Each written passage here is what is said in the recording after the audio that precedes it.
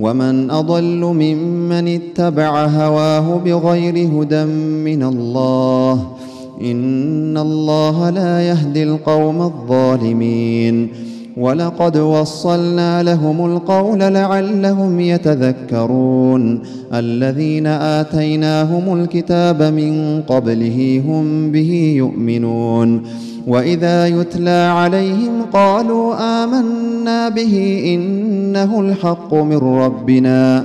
إنا كنا من قبله مسلمين.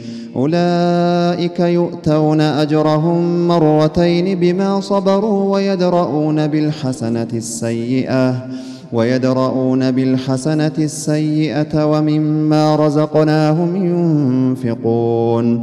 وإذا سمعوا اللغو أعرضوا عنه وقالوا لنا أعمالنا ولكم أعمالكم. سلام عليكم لا نبتغي الجاهلين.